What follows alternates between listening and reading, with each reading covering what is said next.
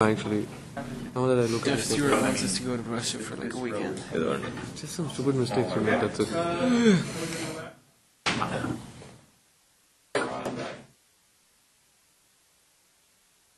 Yeah, okay, okay. But graphics not group out to tunnel. The graphics very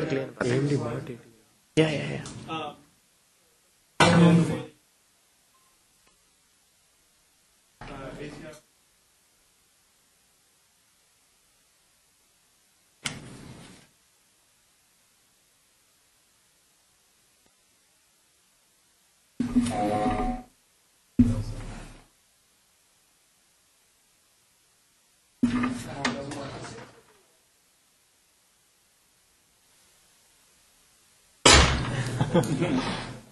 AMD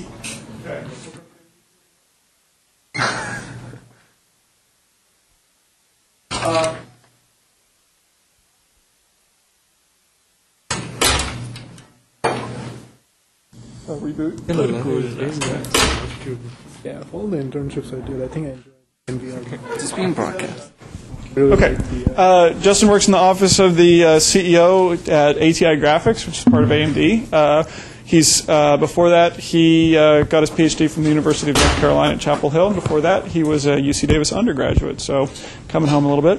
Thank you very much for coming out. sure. And feel free to uh, ask questions pretty much throughout. We want to make sure we uh, uh, keep them busy. Yeah, so if, yeah, if you have questions, go ahead and stop, ask me. This is sort of three different presentations that I'll try to squeeze into the time. Um, so the first presentation I'm going to give is actually adapted from a talk that Kayvon from Stanford gave at SIGGRAPH 2008, which was an excellent talk just on sort of how GPUs in general work. Um, and sort of I've adapted some of his slides because it, it was a great talk, so I had to give a shout out to him. But the basic idea here was going to uh, get an idea of how GPUs work in general.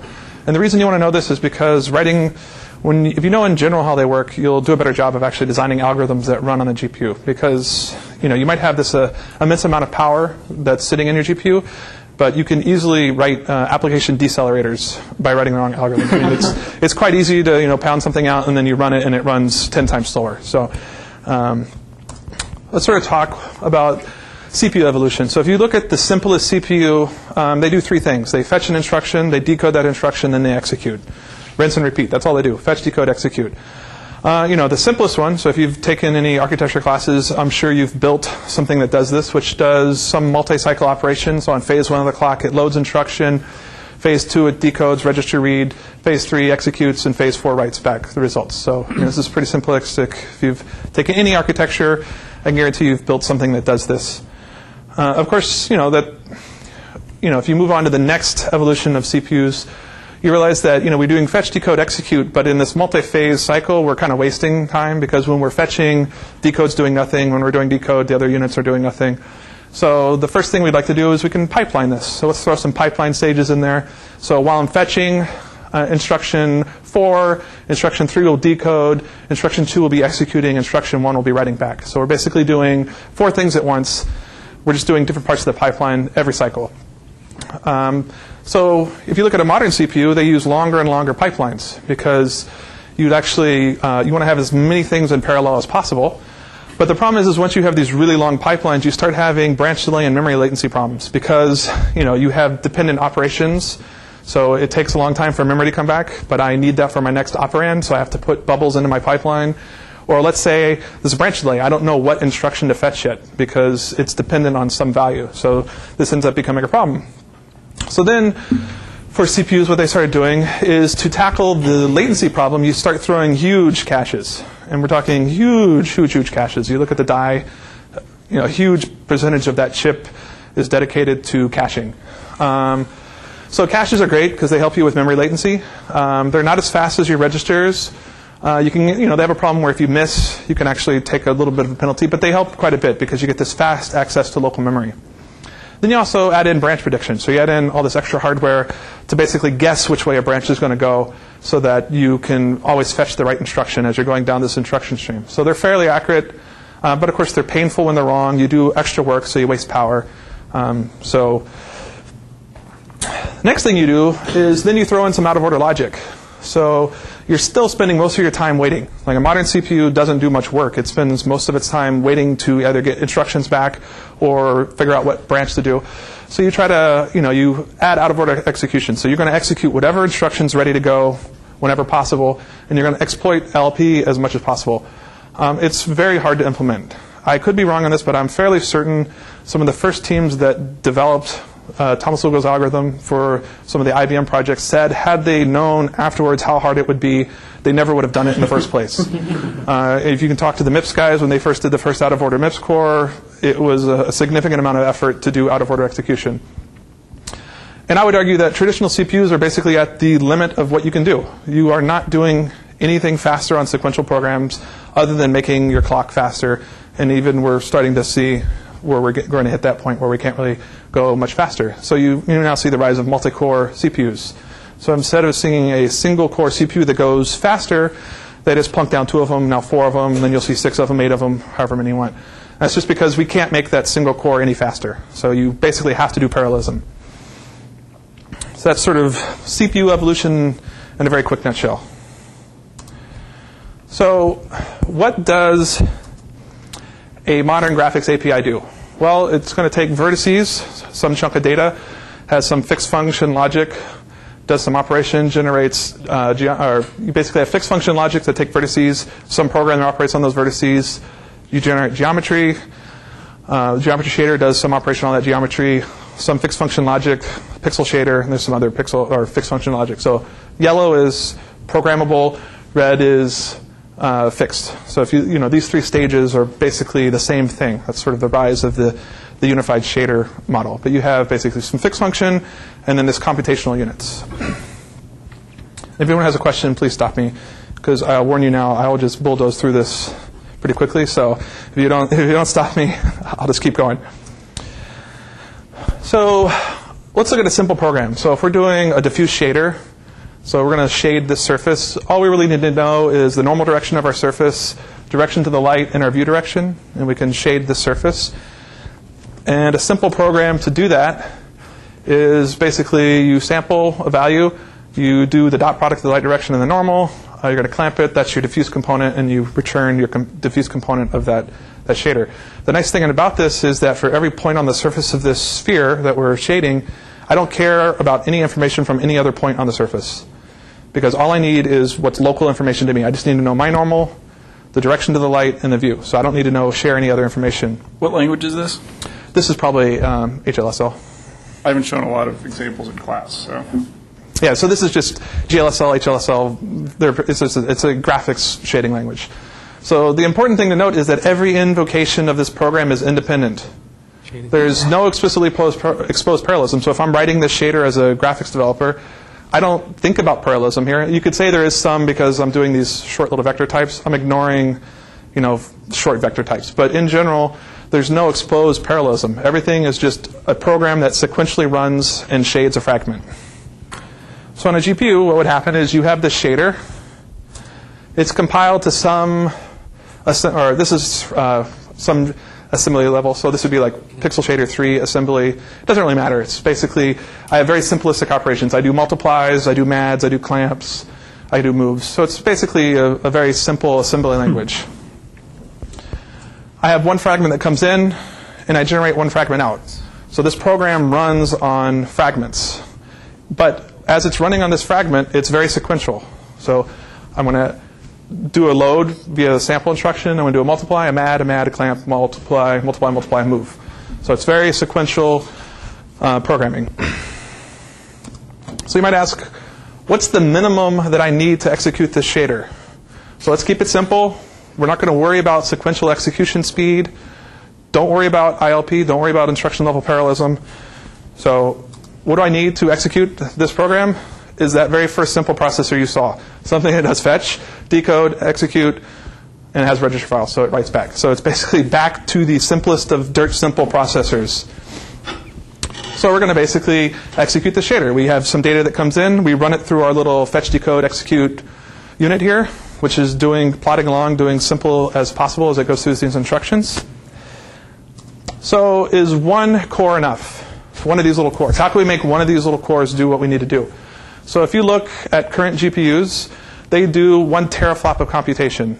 We cheat a little bit because we say mul is two operations. So if you don't, if you consider a, a mulad as, or so a mulad is two operations. If you consider a mulad one floating point operations, okay, it's fine. It's 500 um, billion operations per second. But if you consider mulad two operations, it's a teraflop.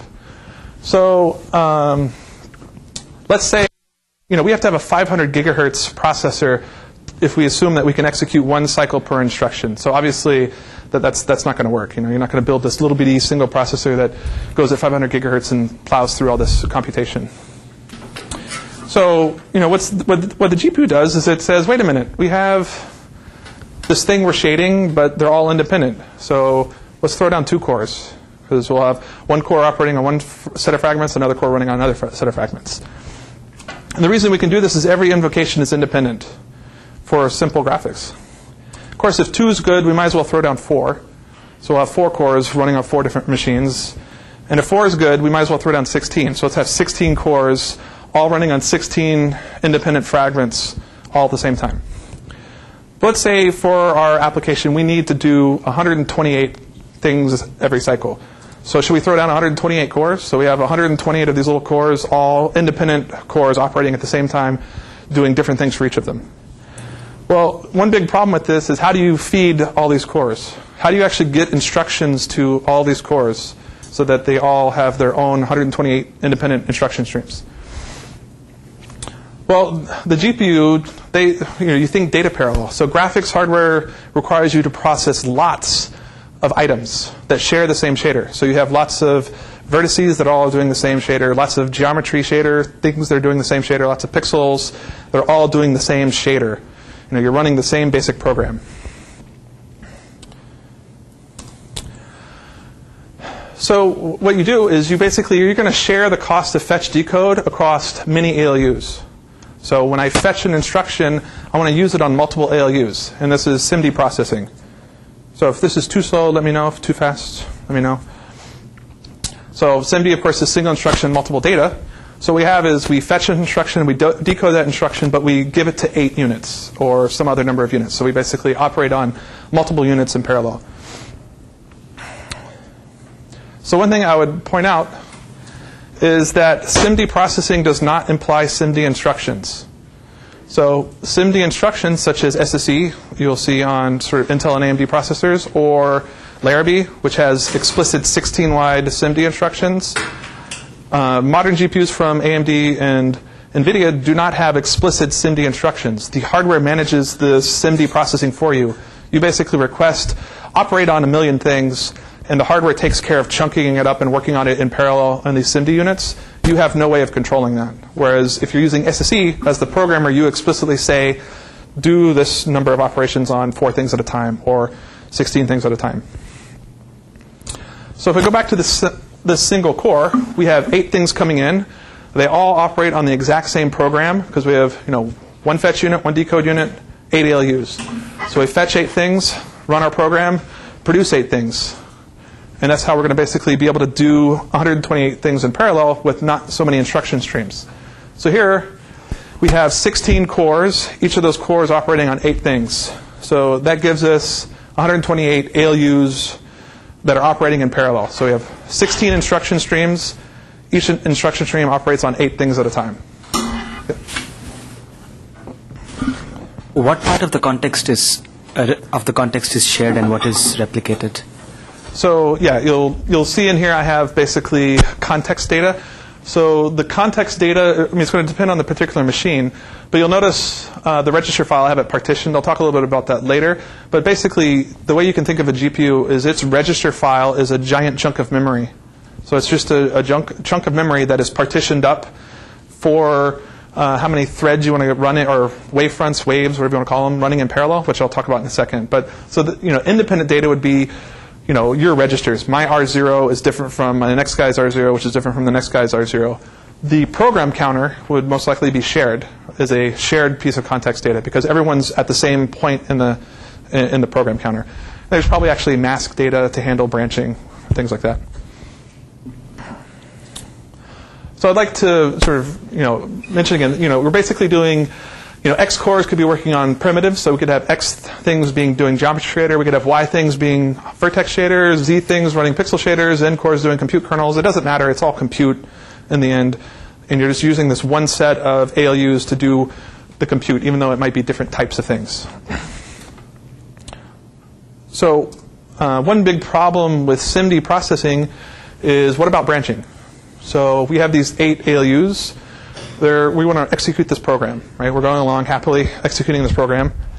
What happens though when we get to this if statement and we're saying if x is greater than 0? Because each one of these ALUs has a different x value. And it turns out uh, ALUs 1 and 2 and 4, that if statement's true, and the other ones it's false. So when you're doing SIMD processing, how do you handle this? That, you know, in this case, three of them want to go one way and five of them want to go the other way. Well, unfortunately, with GPUs or any SIMD processor, you're going to have to go both ways. So you have to basically execute three on one way, and you have some mask that tells the other guys, hey, you're not allowed to compute. You flip that mask, then you execute the other side.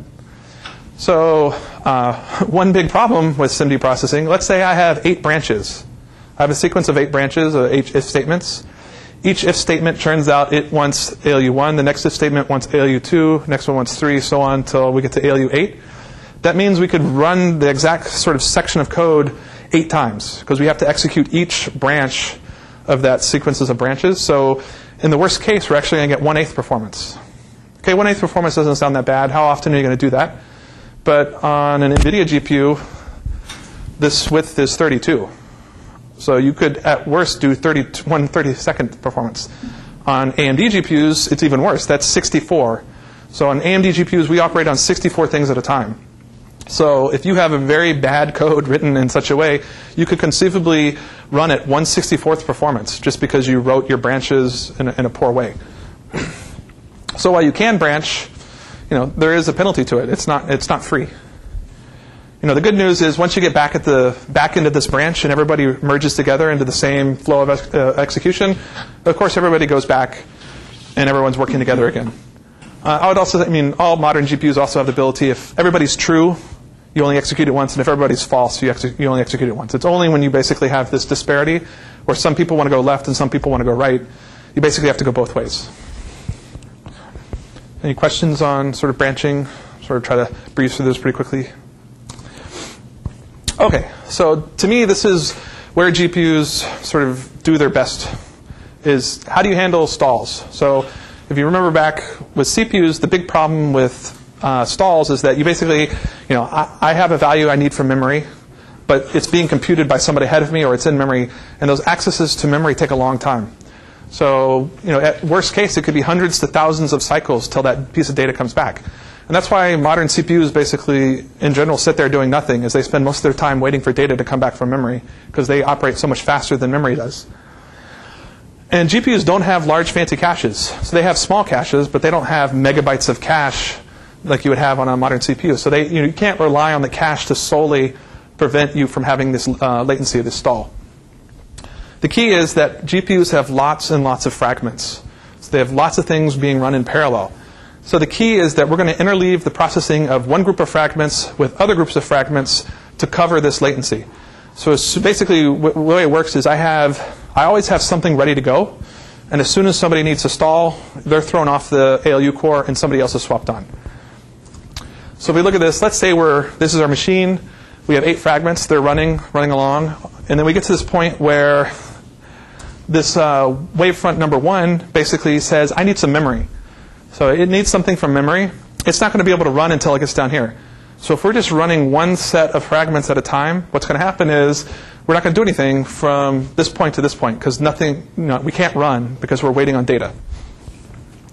What GPUs do is they have other sets of fragments ready to go immediately, and we can very lightweight switch to another set of fragments. And by lightweight, I'm talking numbers of, of cycles. So basically, we can go from wave, uh, wavefront 1 to wavefront 2 in a matter of cycles. So it's very fast to switch between these wavefronts. And is that because all the context is in register file or something? One, they're very lightweight. So the, the, the data is basically stored on chip. So there is some local store that stores that uh, context data. But one, you know, another reason I would say is that GPUs are free from having to deal with sort of uh, a lot of the issues that a CPU would have to deal with when you're dealing with interprocess switching. Where, where there, there's lots of protection. You know, here, there's everything's being executed in, in sort of one set of data, so you're not worrying about protection. You're relying on the programmer to make sure that they don't write where they're not supposed to write. So the the context data is very lightweight, and so it's very easy to switch. But also the, the, the data is actually stored there, so it's easy for them to swap in and out. And it also comes to the register files, which I'll talk about in a second. Uh, Is it like stored in uh, the, the threads that you can use next? Is it like a first out, first, first in, first out buffer or? Uh, part of that is secret sauce. I mean, a lot of it is. So the thing is, you have to realize that if we're not talking about compute, we're just talking about graphics. Let's say you're doing DirectX 10 style shaders. You know, you're going to have geometry shaders, vertex shaders, pixel shaders, and you know other things going on inside the machine. So you're basically swapping between. You're not just swapping between pixel shaders. You're also swapping between vertex shaders and geometry shaders. So the exact rules for who swaps when is sort of uh, secret sauce. Like you know, it's the driver basically can decide what preference. And the way our hardware works is there's an arbiter that basically can arbitrate between what thread what threads are going, and it's somewhat programmable, except it's only programmable by us basically, because if you do the wrong thing, you could you know you know bad things could happen. But so in general. With a certain type of program, in general, it's round robin basically scheduling, but part of it's going to depend on latencies because all this thing, all these things are happening in parallel. So you, you basically have ALU, you have memory. The, the, you know, those things are basically, you can think of them as two sets of machines that are doing their own thing in parallel. So depending on what's going on at any one time will determine the order. So it's, it's in general non-deterministic. So in general, yes, it's this round robin, but you can't say for certain because at runtime, you know, whatever's running on the machine at the time might basically change how that happens. So if you look, you know, basically we're going to run wavefront 1, it stalls, we run wavefront 2 till it stalls, we run wavefront 3 till it stalls, wavefront 4 till it stalls. By the time wavefront 4 stalls, it turns around, you know, we can run wavefront 1 again. So basically, we've, we never stalled the machine. We were constantly working. We were always doing some work. And this is sort of the, uh, what you'll sometimes see as throughput computing or GPGPU or graphics. Uh, for now, I'll call it throughput computing because basically what we're doing is we're increasing the time of one wavefront. So if you look, by doing this, we might have made this program actually for it for this wavefront. It actually took slightly longer for it to run. So we, we were sacrificing the length of time for one program to run to guarantee that the, we get maximum throughput, so we get as much data through the machine as possible.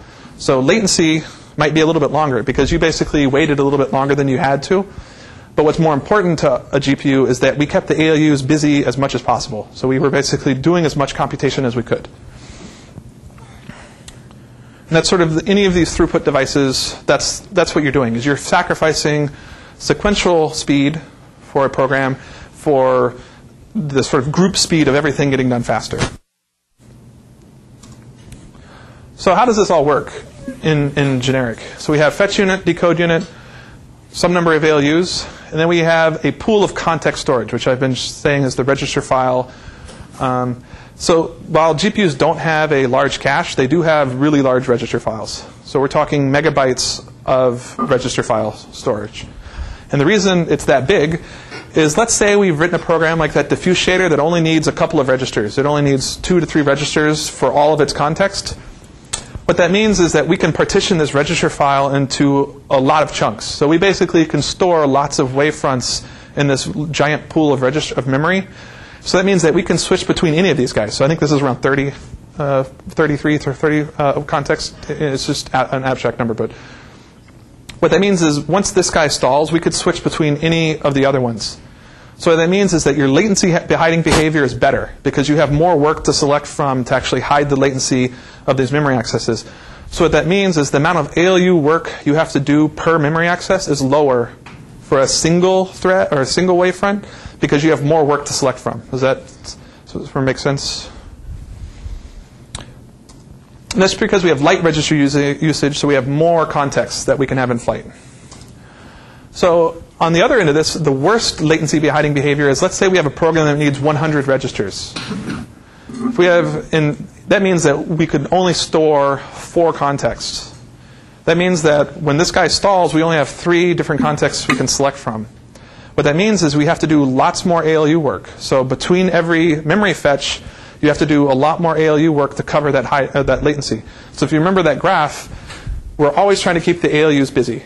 And if you want to keep those ALUs busy, you have to have a certain number of ALU operations to every memory operation.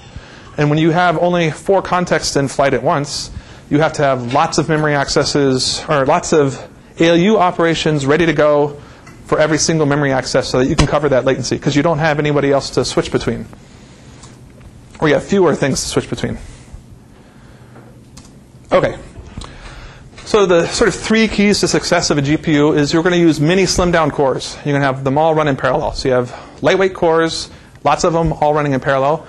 You're going to pack those cores full of ALUs. So uh, and you're sharing the instruction stream bandwidth.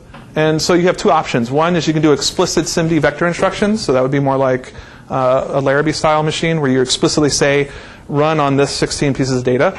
Or you could do option two, which is implicit sharing by hardware, which is what uh, a modern GPU does. Is the hardware determines what data are grouped together. And sort of the big one is you avoid latency stalls by interleaving the execution of multiple things in parallel. So you're constantly always bringing something new on the machine so you keep the ALUs as busy as possible. Okay, so here's an abstract view of the 4870, which uh, I will apologize, I will probably call R700 or R770 every once in a while, because that's what we call it. But the 4870, which is the commercial name of our current GPU, one of our current GPUs, this is sort of an abstract view of the hardware. So uh, we have basically the register file down here. We have some special purpose texture units. Uh, we have these little processor cores which operate on a single piece of element, a single piece of data. And inside that, there are actually five LUs. I'll get into that a little more detail. This is just sort of giving you an abstract. But there are 10 of them. So, you know, that's, that's a lot of ALUs every cycle that, that are ready to crunch numbers for you. So, you know, all these little, little bitty yellow squares are basically an ALU that can do an operation every cycle.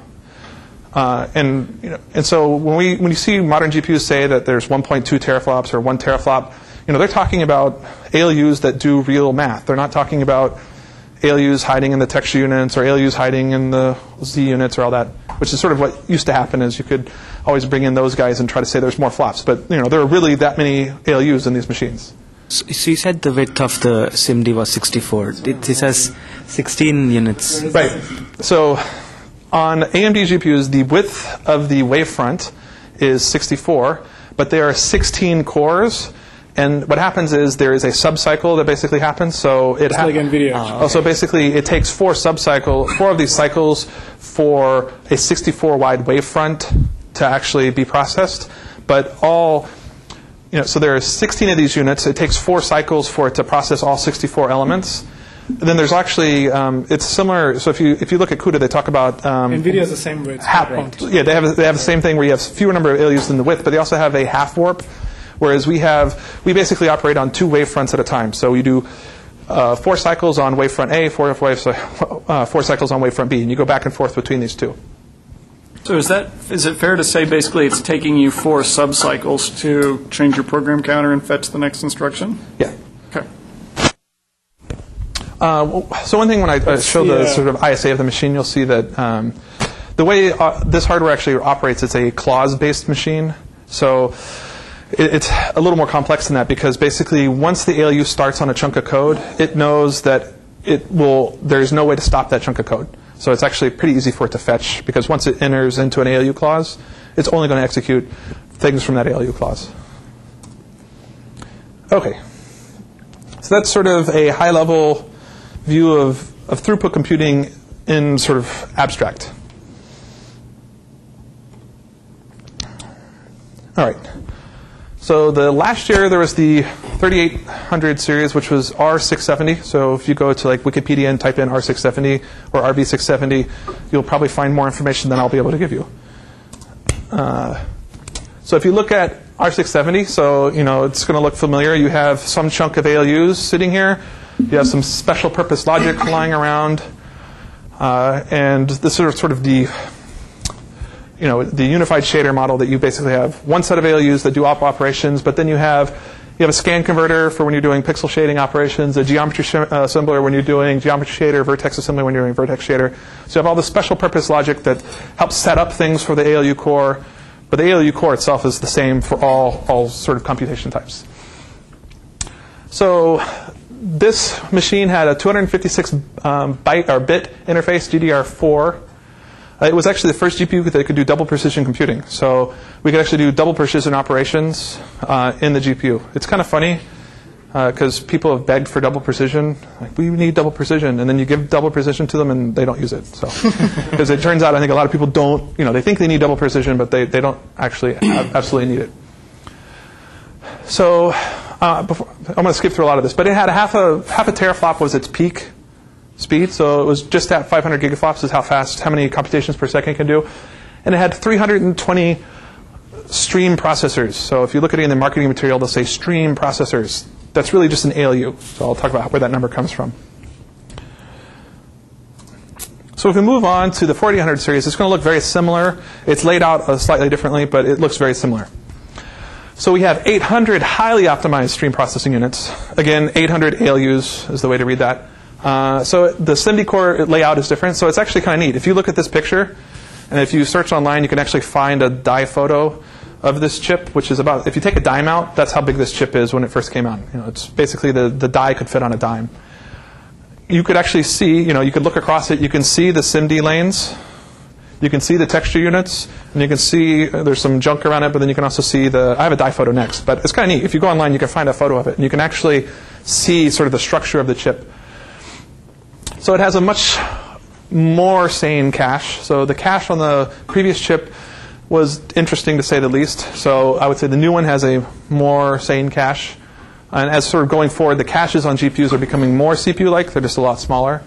Uh, it has a different memory architecture, uh, and blah blah blah. That's marketing speak. So we'll just move on. Okay. So this is an actual photo of the die. So it's kind of neat because you can actually see the SIMD lanes, you can see the texture units. This is uh, GDDR5 memory interface and all that stuff, and this is secret stuff that no one no one knows what is. Um, so as I said, it has 10 SIMD cores. So each of these cores has 80. So basically, there are 10 SIMD cores. Each of those cores has 80 32-bit stream processors. Again, read ALU. So it has each of these cores has 80 ALUs that every cycle are ready to do sort of start working on something. There are 40 texture units. So if you take those 40 texture units, divide by 10, you can see there are four texture units for every SIMD lane. Let's say. So one of the thing about the RGPUs is that they have a very high ALU to memory ratio. So we can do a lot of math, but GPUs in general, it's actually pretty hard to, to peek out the math units because there's a lot of ALUs you have to give them something to do for every memory operation. So I would you know, we are a bit ALU heavy, but so the interface is GDDR5, but it runs at 115 gigabytes per second. That's pretty fast if you think about what a modern CPU can do. It's, I mean, they're starting to get closest to that, but they're still not that close to, to what you can get on a, a GPU. So the die size is 26 millimeters squared. That turns out to be close to a dime. Um, and this is all sort of just saying how great it is compared to the past GPU. But if you ever work for a company, you get to take marketing slides and try to make sense out of them. Okay. So where does this 800 stream processor units come from? Uh, shaders, whatever you want to call them. So there are 10 pipes. Uh, I like to call them pipes for the cores. Basically, there are 10 of these SIMD lanes as they go across. Our wavefront size is 64, as I was saying earlier. Uh, we call it wavefronts, NVIDIA calls them warps. Uh, a lot of people would call them vectors. So there are 16 cores that complete one instruction for a wavefront over four cycles. Because we do 16, of, 16 elements, 16 elements, 16 elements, 16 elements. And then we move on to the. So we have two wavefronts that are interleaved in execution. So it's four cycles of one, four cycles of two, four cycles of one. They ping pong back and forth. Each of these cores has five ALUs. Again, ALUs, stream processing units. The five units are organized as a VLIW instruction machine, style machine. So, for those who don't know, a VLIW is a very long instruction word machine, which means that you basically are programming these five ALUs with a, an instruction packet that has five things at once. Uh, you cannot think of this as five independent scalar machines because there are limitations on the ports to the register file. So there are some limitations. So they're not completely independent, but they are somewhat independent. So if you take that 5 times 16, that gives you 80 times 10, that gives you 800. So there, that's where you get the 800 ALUs that you know every clock.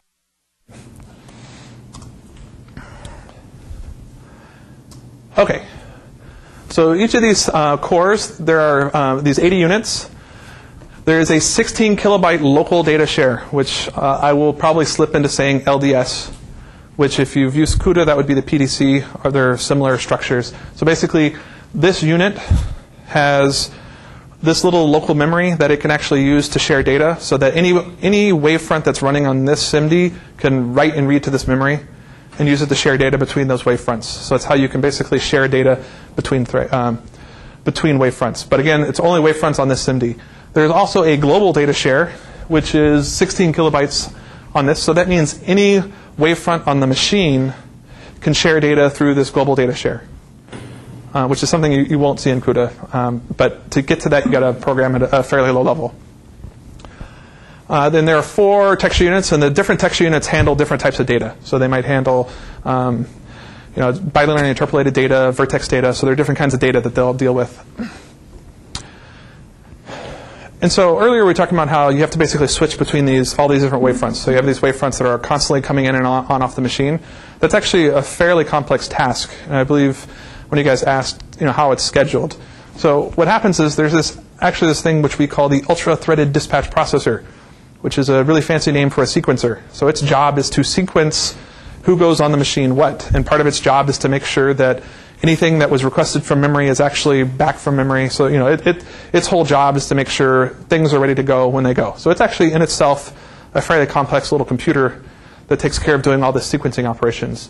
And as I was saying earlier, there's actually some arbitration values it can use to determine who sequences when. But again, that's not programmable by sort of uh, anyone outside of the driver team.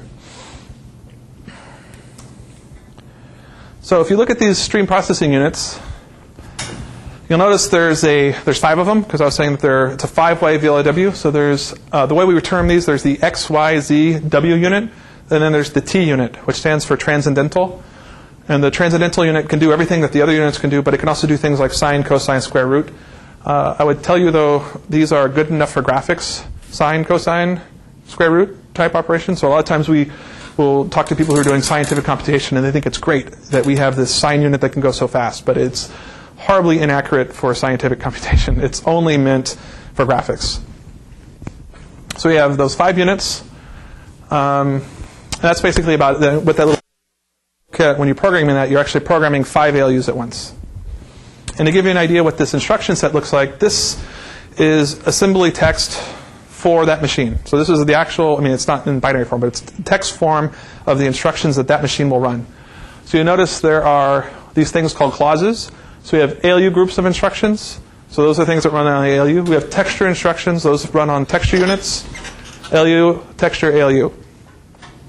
So the way our machines work is you have the ALU units, you have texture units, and you have the memory controller. Those things all happen in parallel uh, all the time. So you can think of this is sort of like three programs in one.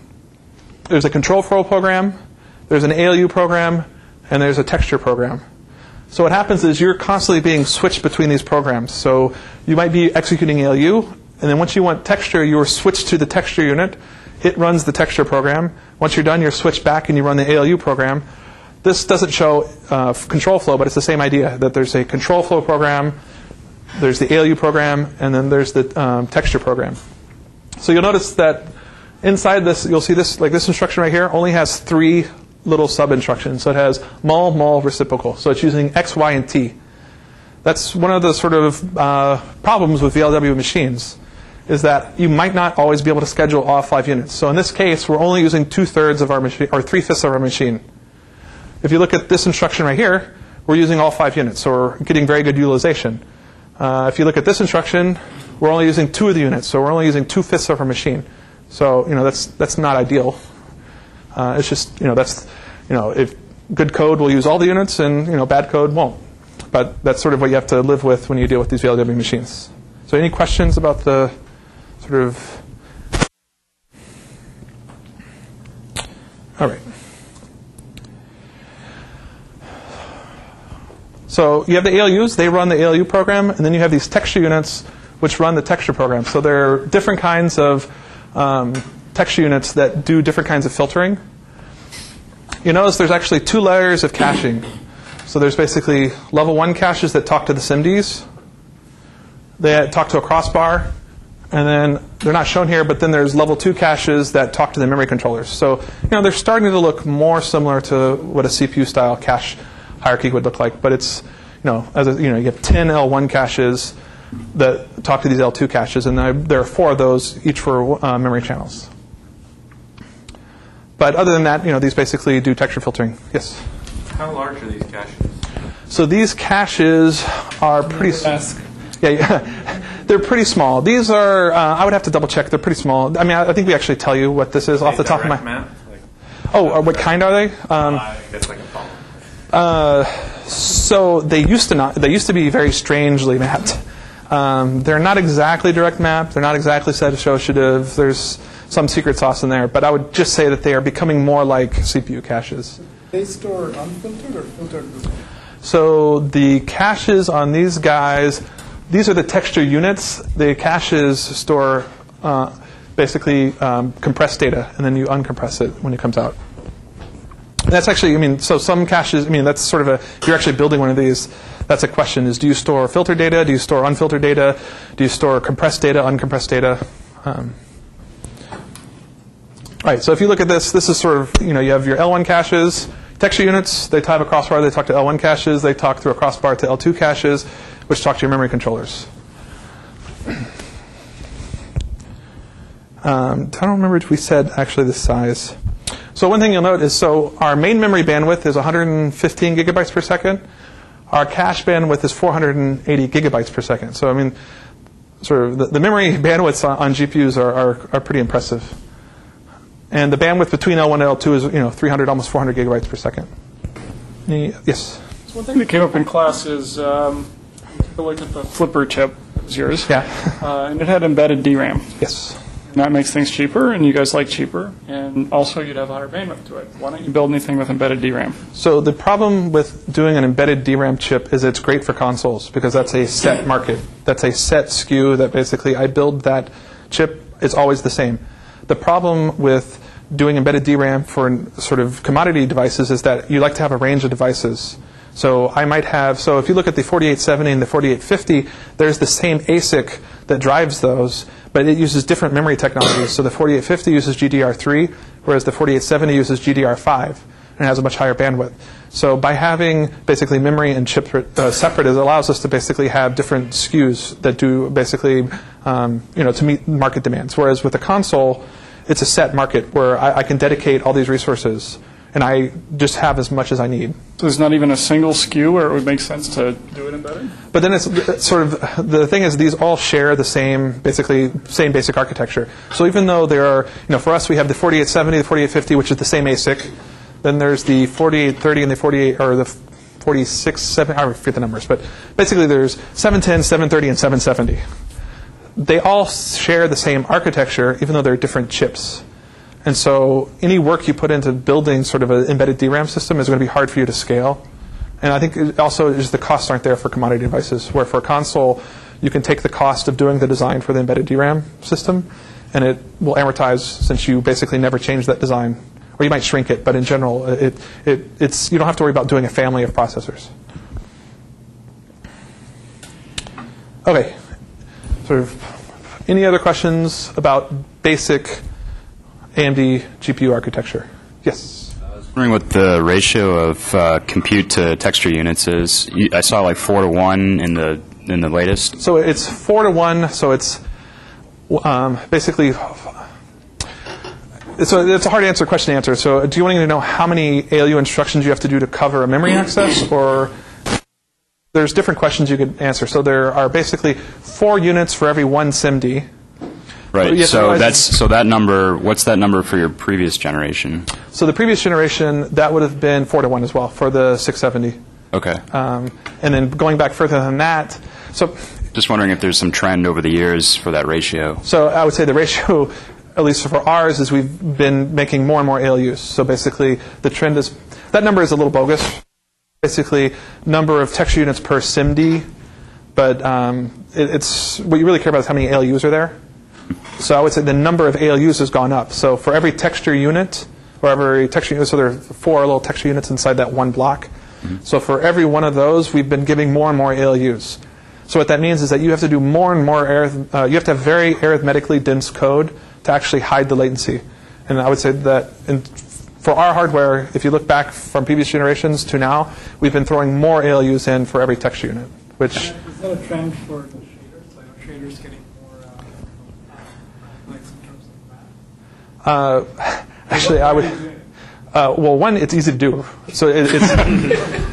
I mean, it, you know, it, it's it's much area-wise. It's much easier to throw down ALUs than it is to throw down these texture units. So I would say one reason is chip area. It's actually easier to put more ALU.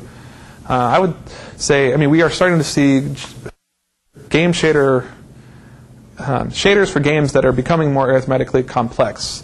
But I still, it's nowhere near its complex. It does not have the ALU density that our current shaders actually have. Uh, I mean, one thing you have to realize with games is that if you're a game developer, it, it needs to run in general on the most machines possible.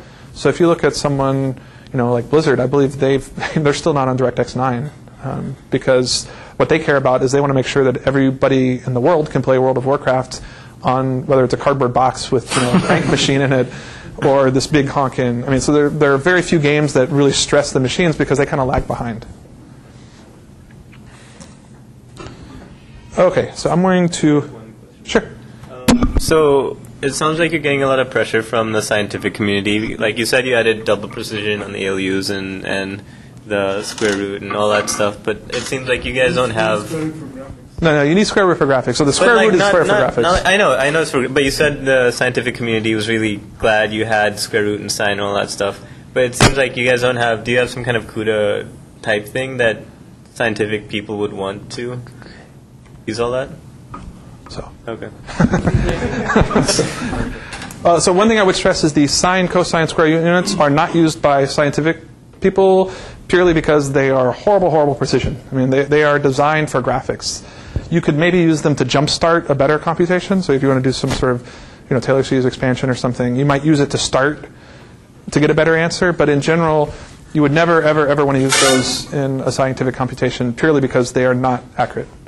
A couple questions. Um, so uh, when when you see um, like there's an announcement of supercomputing last year. So the Oak Ridge guys announced that they reached a petaflop on Jaguar, but what they didn't say in the press release was that they did the calculation in single precision floating point. And when you go to double precision, like on an Opteron, the performance drops to I don't know, like about an eighth of what single precision floating point uh, performance is.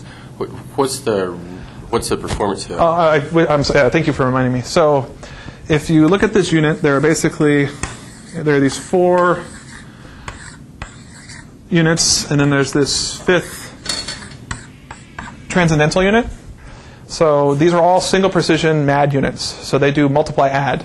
So one thing I would str- on sort of in, our GPUs, if you do a multiply, you're actually only getting half an instruction because they they are multiply add. So if you do multiply, you're not getting sort of the full use of it. But what happens when you do a double precision operation? What happens is basically these four units go together to do a double. So you could think of it as one fifth, but it's really a little bit better than one fifth. It's in between one fifth and one fourth because you can schedule one double precision operation and one single precision operation at the same time. So it's one fifth the rate if you can't schedule a single, but a lot of times you actually can schedule in uh, a single uh, precision instruction because you actually have to do something else. So if you look at something like matrix uh, matrix multiply, you actually don't the performance you drop down isn't that much because that's actually it's not what limits the problem. But you know a lot of times you can actually schedule in. So in general, it's one fourth to one fifth speed. Yes. How much um, design decision is influenced by GPU computing? Let's say for the double, because you know that's not used in games, but you still want So, to I mean, support it. that, that was something that the architects determined that, hey, we can actually do this pretty easily, not much area, we'll, we'll, we'll put it in, because that's something that GPU compute wanted. I would have to say it's not used that heavily. I mean, it's used some, but it's not used that heavily. Um, but there are, I mean, both, I would say all the companies are, are now considering GPU compute as something important. So there are definitely things, like if you look at the L, what we call the LDS, that's something that is not exposed in any graphics API. So it's only for compute. Same thing with GDS. But they Um, must be used in the graphics API. Not in our hardware. So our hardware, those are specifically for used for compute. So uh, our competitors, some of their features are used for graphics, and then they were reused. But it was just determined that you know it didn't take that much area, and it was something they could put down. Do you anticipate that these additions of double precision and um, uh, shared local data storage would uh, would be used in games now that uh, DX11 also has a compute shader kind of? Well, they'll have to. I mean, I mean, if, if they're using those compute languages, then they'll you know they'll they'll start being. Goes back to restricting your games on the US platform. Right. Companies will not do. Well, I mean, there'll always be some games who are DX11 only because they want to be on the, the biggest machine. Some monstrous machine to run it. So there'll always be some games like that, and there are always also games that don't care. They want to run on as many things as possible. Is, is there any end to the trend?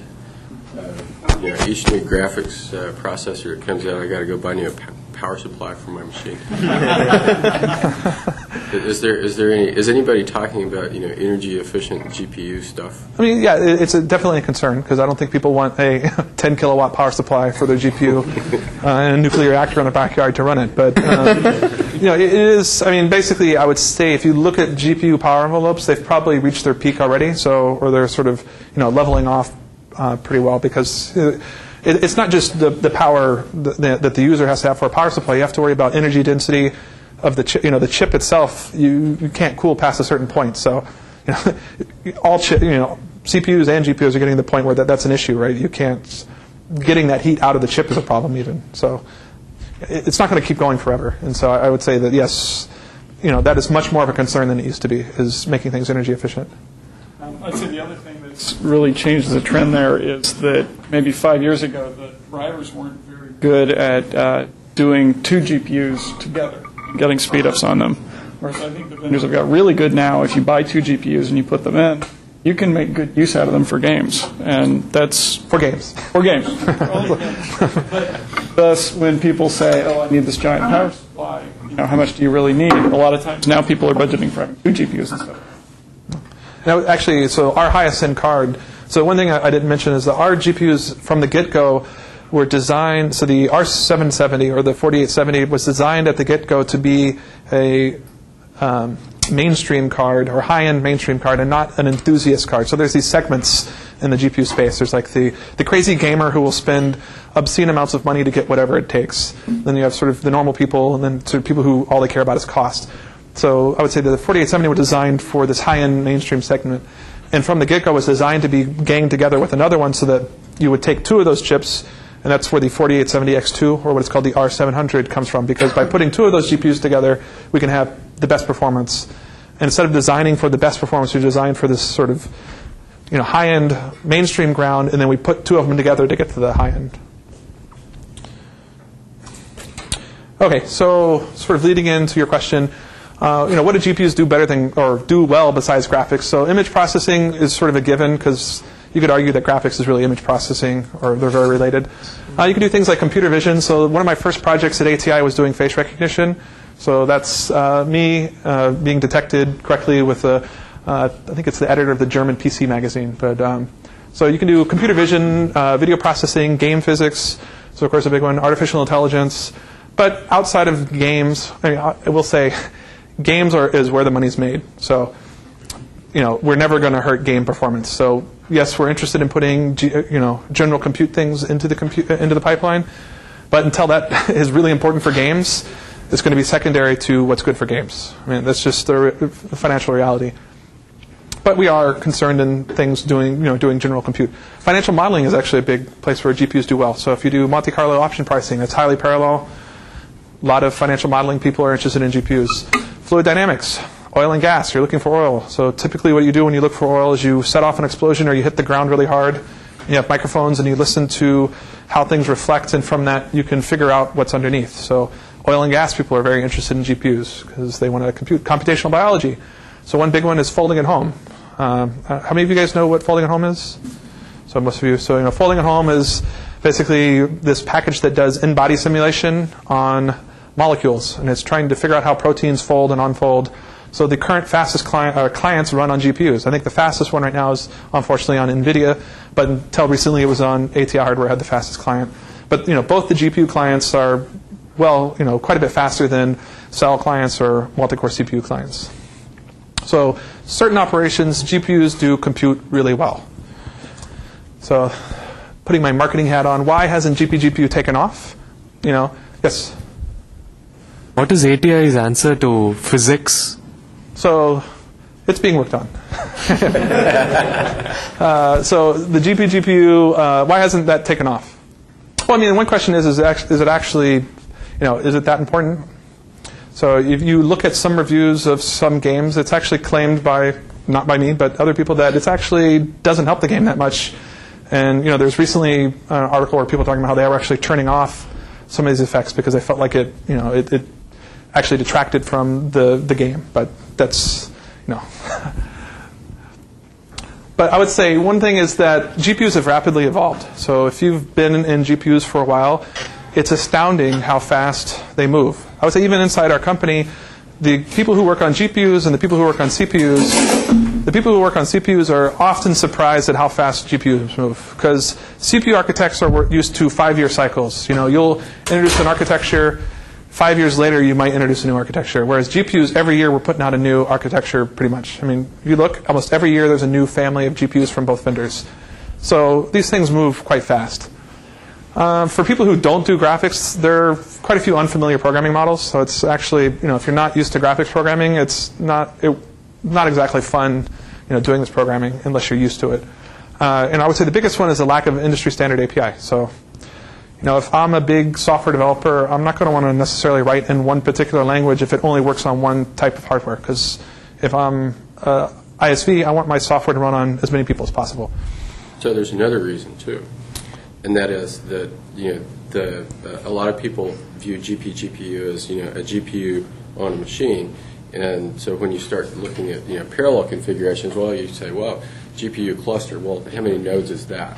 Right? 10, 12, 100, right? Well, the supercomputer centers have, you know, $100 million machines, and those guys are really interested in it, and coupling this stuff with the existing infrastructure is a real problem.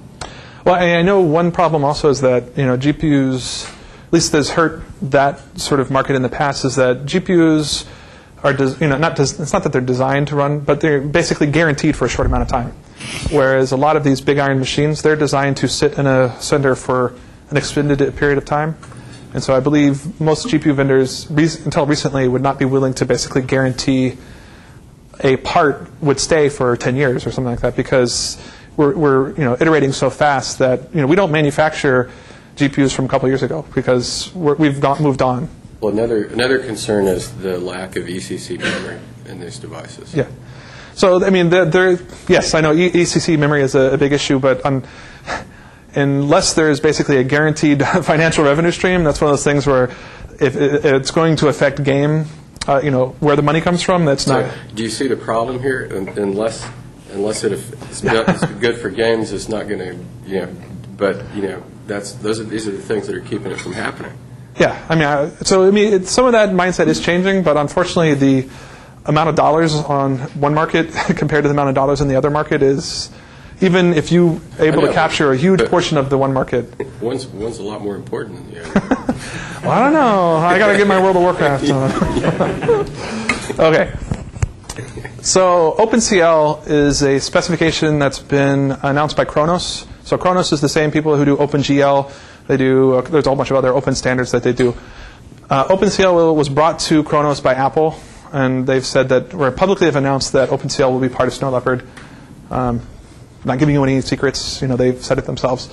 Um, so the Khronos group uh, basically uh, work together. So the Khronos group is a um, you know includes AMD, includes Intel, includes IBM, includes Nvidia, includes Apple, and includes uh, surprisingly some of the cell phone vendors. Uh, so Blizzard, I believe, is a part of it. So there are lots of companies that are member of the OpenCL group trying to make a specification that will work well. And the reason they want to do this is that you have CPUs on this side, which are uh, multiprocessor cores. They have very performance-driven single cores, and you have things like OpenMP.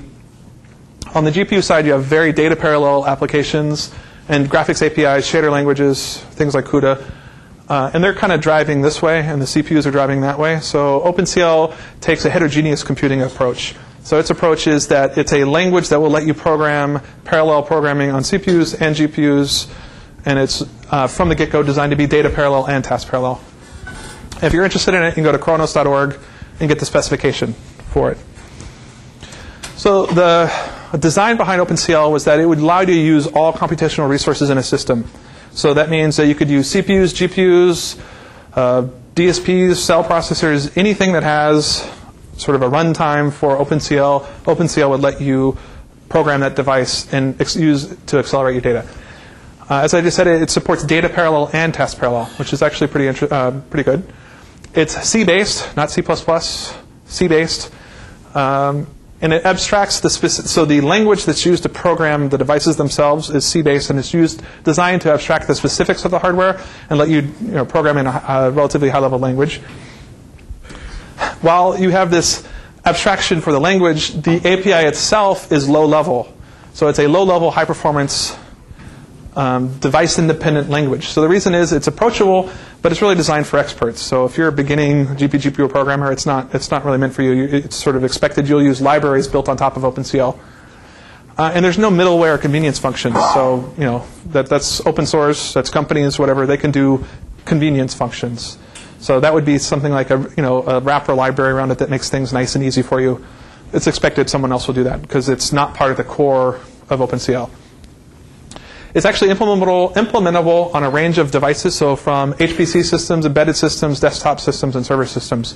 So it has profile mechanisms. So you can imagine one day you pull out your cell phone, it will be doing GPGPU. Which actually, you know, at first people laugh, like, why would I want to do GPGPU on my phone? It actually makes sense because most processors in cell phones don't have floating point capability. You know, they, they actually don't have very much arithmetic ability, whereas the GPUs could do a lot more arithmetic operations. So image processing is one place where that you know is very attractive. So taking pictures, I can do some image processing on the picture from the camera, and I actually have this little engine that can actually do computation uh, much more efficiently than the sort of main CPU of your cell phone. And it's designed to drive future hardware requirements. So there are specific floating point precision requirements for OpenCL. So it's designed to actually try to drive GPUs to have better requirements for things such as uh, floating point precision. So, question is uh, OpenCL single socket multi-core? Is it you know distributed memory? So I'll get to the memory uh, uh in a second. Yes. I'm just wondering why uh, OpenCL and CUDA are both they, they're both C based rather than C based. Is there some well, CUDA is actually a little bit C++ based, but I would say C1, I think I agree with what Ken is mind rather is is a bit much, but um, so CUDA does actually support C++ uh, operations in the kernels. Okay. Um, it's just sort of I would say a design choice, but personally I think C is is probably the right choice because you can build things on top of it that provide. So again, it, it's designed to be a low level abstraction. So you know, C++ templating, all this stuff might be a bit much. I know some people will disagree with me. so the OpenCL sort of has three pieces. There's the language specification. So that's a C-based language. It's based on uh, C99 with extensions uh, and some limitations. So uh, one of the limitations is you cannot do recursion. Recursion is not allowed. The other thing is you cannot do function pointers. So no function pointers, no recursion. The extensions are things like float 1, float 2, float 4. I mean, float 1 is not an extension, but float 2, float 4, float 8, float 16. So you have explicit SIMD types up to 16 wide. There is a defined numerical accuracy, so it's based on IEEE. It is not IEEE compliant because what a lot of people don't realize is that full IEEE compliance entails a lot that is so it's IEEE precision. It's just not fully IEEE compliant. Uh, one nice thing about OpenCL is it has online or offline compilation. So you can actually compile your programs online like you would do with GLSL or HLSL with DirectX, or you can do it offline. So offline you precompile it and you have a binary. And there's a rich set of built-in math functions. Basically anything in math.h is specified that, you, you, that is there. There's also a platform layer, so this lets you basically find out information about the hardware. So it abstracts uh, what kind of resources are there, what the hardware is, all that kind of information, so you can query, select the device, uh, and create compute contexts and work queues. Um, the runtime API is excuse me, you execute kernels and you manage the scheduling, compute, and memory resources. So the three parts are the language, the API for actually getting a device, getting a command queue, and the API for executing kernels and managing scheduling compute resources. So we spent, uh, you know, probably 15, 20 minutes in class talking about CUDA. Um, what do you see here that you think is different than CUDA? So this is very similar to CUDA, the driver API. The big one is there is no means in the CUDA driver API to do online compilation, which is there are actually lots of times when online compilation is, is pretty handy. That, that would probably be the, the biggest difference. Uh, and also, I, I, we'll get into it a little bit, but um, so OpenCL has the notion of queues, so you actually enqueue work, whereas with uh, the CUDA driver API, you're launching a kernel. So in OpenCL, you actually have a queue and you enqueue request. So you basically say enqueue a read, enqueue a kernel, enqueue another kernel, enqueue a write, enqueue another kernel, enqueue, and basically you feed that to the runtime, and then it's going to basically go through this queue. So it has this explicit queuing system. Another difference is that uh, OpenCL has uh, this task parallelism model that's not uh, something that's exposed in. It's out of the queues, like the queue sort of exposes that. You could take any piece of work out of the queue that is, has its dependencies met. Uh, so with OpenCL, there are two types of uh, queues. There's an in-order queue where everything that goes in will be executed in order, but there are also out-of-order queues. So you can explicitly create an out-of-order queue. You queue in order, so you put things in order, but the runtime will pull out of the queue in any order at once. And then you have events that basically tell it which elements in the queue depend on other elements. And so it'll ma- uh, maintain that, basically, th- those dependencies for you. And there's also this task parallelism model as well. Yes? Uh, I'm assuming this needs hardware and driver support by newer, like, so an older GPU would not be able to run any of this OpenCL stuff, would it? Right. There is a minimum set that OpenCL says that would be able, that would have to support it. So, yeah, if you look at a GPU from five years ago, no, it's not gonna it's not gonna run on OpenCL. Yeah. When your target device can have anywhere from 16 to 32 to 64 byte SIMD, how do you, how do you expect to abstract it to OpenCL that concept? Because if you're writing a performance application, you'd much rather know that information Right. and So use you, it. so there are so you know so there are uh, query so you can query your devices and. And you know anyone who's basically, I mean, they're like basically cat bits, but you know anyone who really wants to run as fast as possible. You, you might end up writing code for three different devices. Yes, but if you're actually just switching the size of things, in general, it's not going to be three separate sets of code. But Yeah, you uh, could use templates. so th- I guess that's a nice use of templates. I mean, we use templates for code generation. That's that's what. Right.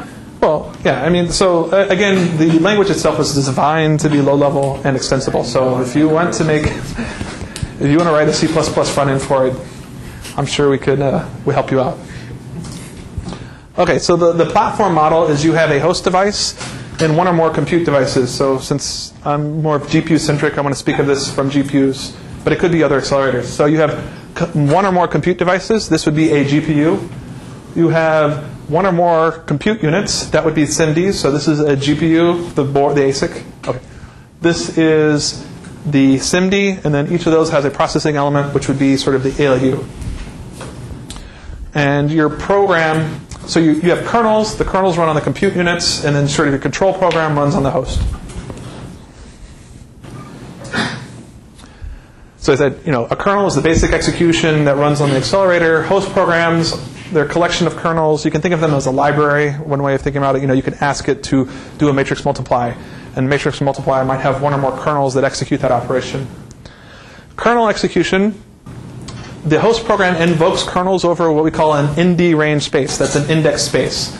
So ND range, which stands for n-dimensional uh, range, can be one, two, or three dimensions. So if I'm operating on a vector, I might do a 1D space. If I'm operating on an image, I might do a 2D space. If I'm operating on a volume, I could do a 3D space. So that's how you launch your programs in these spaces. A single instance in this index space is called a work item, which of course is different from CUDA, has a different name. Everything has to have a different name. So work items have a unique global ID. Work items are further grouped into work groups. And work groups have a unique work group ID, and you have a location in the global domain, and you have a location in the local work group domain. So let's say we want to process an image. We might make the width of it the global size, the height of the image, the global height. Each of this global domain is split up into work groups. Each of these work groups has a work item, so everybody has a ID for the work, you know, inside the work group and inside the entire domain. Of course, you can compute your global ID from your local ID and um, block or work group ID. So if you've worked in CUDA, this should look very similar to you. Okay, contexts in queues. So contexts are used to contain and manage the state of the world. So context, I mean, this is pretty basic stuff. The big thing is the command queues. So we have execution of these kernel commands. Also, memory commands are enqueued into the command queues. So you enqueue memory move, if I read data from host memory and put it in GPU memory, so you enqueue that, you enqueue kernel executions, and then you could enqueue the write back. And so basically, when you enqueue all these commands, you can basically get an event back saying, when is this write done? And it'll tell you when that write's done. Uh, in this queue process, this queue manager, is this also managing the different devices? So if if your one kernel is dependent upon some sort of memory ops that you're doing, you can send those memory ops to a second device. Uh, So you- there are events that you use. So you have to explicitly manage the synchronization. So uh, OpenCL uses lazy semantics as far as this goes, and it's up to the developer to set the events to make sure. So you can basically. Uh, the best thing, I won't probably have time to get to it, but if you go to the specification, you'll see all the enqueue commands take a list of events that you depend on, and you generate an event, which is what you know what your, your event, and so you can basically have graphs of how everything depends, and so it's up to you, the developer, to do that. Great. Um, so you ha- there are in order queues and out of order queues. So uh, they are queued in order and executed in order or out of order based on whether what kind of queue you created and use these events. Uh, one thing I don't think I have in the slides, but that's kind of interesting, is that there's also a task parallelism model. And so with the task parallelism model, you can explicitly run a um, a kernel in a task parallel way, which only has one work item and one work group. So it's more of like a sequential C thread. Another nice thing about uh, OpenCL is you can actually enqueue native functions in this task parallelism model. So you can actually have a native C function that is enqueued into the OpenCL runtime. So you can actually use it to manage threads for you if you you know you don't want to use pthreads or whatever. So earlier there was a question about the memory model. So it's going to look very similar to uh, other GPU compute models where you have a global memory, which is a global memory for the device. Not shown is a host memory, and you do explicit transfers between those. On the compute device, there will be constant memory. There will also be a local memory, which is shared by compute units. So it's a shared local memory, a local data share, we'll say. And then your work compute unit might have multiple work items, and each work item has a private memory. So this is sort of scratch space per work item. All right. I have five minutes? Uh, yeah. Okay. I'll go through a quick example. All right, so a generic OpenCL program will consist of this. You'll compare, you'll query compute devices. Say, hey, OpenCL, what compute devices are there? Create some context. That corresponds to the platform API in green here. Then I will create some memory objects, uh, compile, create my program online if I want, issue commands to my command queue, do synchronization, clean up my OpenCL resources. That's the runtime. That's sort of the second part of OpenCL. And then my kernel would be written in this restricted subset of C99. That's the language. So let's say we want to do simple vector addition. We want to do A plus B equals C. if you were doing this, you know, simply on a single core CPU, you'd probably just write a for loop for i equals zero to the number of elements, loop through that, basically get an element of A, get an element of B, write it to, to C. So this is sort of the most simplistic way of doing vector add. You think about it, this for loop, that's the index space. So I have an index space, a 1D index space. This is an image, it might be a 2D index space. Volume would be a 3D index space. My kernel of computation is just C equals A plus B. That's all, you know, all my computation there. So my OpenCL kernel is going to look very similar to that. Basically, I get my ID and my space. I get a value from A, get a value from B, add them together, write it to C. So this kernel does that same computation that's in that for loop. So if you look, you know, basically, that computation corresponds to that. Yes? What's the zero?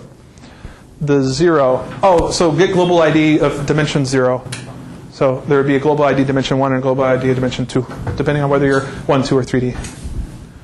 And there, I mean, there are a lot of built-in functions such as get local or uh, get workgroup ID, all, all sorts of things like that. Okay. Yeah, so it's, and then the host code would look something like this. Basically, create a context. So it's all C calls. So that's one thing is, so uh, John, you were asking earlier about the difference between sort of uh, CUDA and OpenCL. And that it's, so especially when using the sort of chevron syntax in CUDA, it, you have to do a compiler and then compile. So you basically compile once to generate C, which is then compiled. So OpenCL is a library. So you compile the lib- you compile once. You can do an offline compile of your kernel, but your main host program is never touched by the runtime because OpenCL itself is a library that is called through library functions. So you could easily conceive of things built on top of this that give you sort of the syntactic sugar that something like uh, other languages give. So basically, we create context. Um, we get some context info. We create this command queue. Um, I would, I mean, this is actually online. So if you go to sa08 dot, uh, you can send it out actually. Uh, Or I can send it out. It's a UC Davis machine, and I can I can point you guys. So to there's it. a lot of these presentations that go over OpenCL because we're almost out of time here. So, um, so you, you know, you basically create a program, you build your program, create the kernel. Um, you set your arguments, so you set A, set B, set C. So again, it's a C API, so you have to explicitly set these things. You could always have something on the outside that makes this look nicer. You could conceive of utility toolkits that'll do this all for you. And then you enqueue your ND range kernel. So one thing uh, earlier, so I'm waiting on zero events. I pass it null, and I don't care about my event handle. But right here, we could pass in 10 events, handles to 10 events to wait on, and then get a handle back that would tell that you would use later on. So if you had lots of things going in parallel that depended on each other, you would explicitly manage that. Um, and then you basically read the output data. And again, it has events that handle to wait on. Okay. I will stop there because I think I'm out of time. And are there? Let me show one last thing. So I'm going to show a video of a demo that we actually showed at SIGGRAPH Asia. The reason I'm showing a video is that this only has two cores on it, so it's not as interesting. So this is a little program called PowderToy that I ported to OpenCL. The initial port took about an hour to two hours to do the initial port of the fluid flow. So it's a particle fluid flow simulator. So these are all particles. That's gunpowder being dropped down. Uh, the display in the background is the, basically uh, pressure from what's going on. So I'm dropping gunpowder, and um, basically this is the sim time in OpenCL. So this is how much time is being spent in OpenCL. So I have metal. I'm dropping lava. The gunpowder explodes. You get nice little movement of things. The wood catches on fire. Uh, and then we get the metal basically starting to melt. So that's how much. This is running on one core right now. So this is a single core of a Phenom 2 system uh, running. And so this is a material that clones whatever touches it. So whatever material touches it first, it'll constantly emit that. So I have gas, gasoline basically, that I can touch it with. So it's emitting gas constantly, and then I can catch it on fire. And then this stuff will heat up and basically create high pressure and force the outflow of these little 2D particles. And so it nice, makes this nice little spewing fire thing. Um, these are on breakable walls. And so this is running on one core. So you can't see it, but it's running three milliseconds right now on one core. I had to do this with no voiceover for an online video, so that's why it does this. so we have one core. Um, So it's three milliseconds per iteration of this. yeah, three milliseconds for the simulation, for the OpenCL portion of the simulation. So if you notice, I just I just hit a button and it changes an environment variable, and at runtime I can go to two cores. So I don't have to restart the program, don't have to change code. I just change an environment variable, and it went down to 1.6 milliseconds. So it's not completely linear, but it's pretty close to linear. So that's on two cores it was 1.6. Now it's running on three cores. It's 1.2. I can actually go to four cores, but Fraps ends up sucking down one entire core of the system. So unfortunately, when you go to four cores, it, it actually gets a little bit slower because Fraps is doing its thing. So uh, we've actually had this run on a Linux box with eight CPU or eight cores, and it was seven, a little over seven, 7.6 uh, scaling. So it's almost linear. There's definitely a little bit of a hit. Um, so this is OpenCL running on our optimized CPU runtime. So we have both CPU and GPU runtimes we're working on. But you know, the CPU, you know, this is actually OpenCL is a great way to program multiple cores because once you start having 8 cores or 16 cores, it's actually pretty hard to write threaded code that takes advantage of all those cores. So OpenCL is a nice way of doing that because conceptually you are programming lots of things at once and it'll parallelize uh, quite well on multiple cores. So I think I took a little over time. So any questions? So how about we thank our speaker? I know some of you have classes to get to, but I hope he'll stick around for a few minutes and uh, answer questions offline.